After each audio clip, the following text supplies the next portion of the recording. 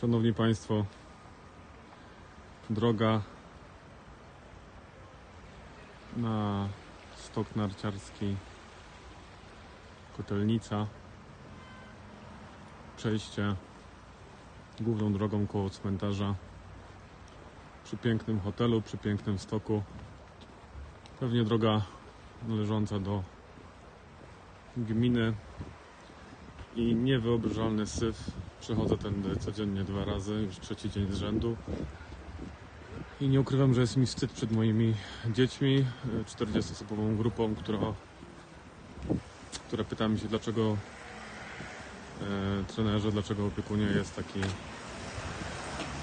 śmietnisko i dlaczego to nie jest posprzątane. Oczywiście butelki po wszystkich trunkach.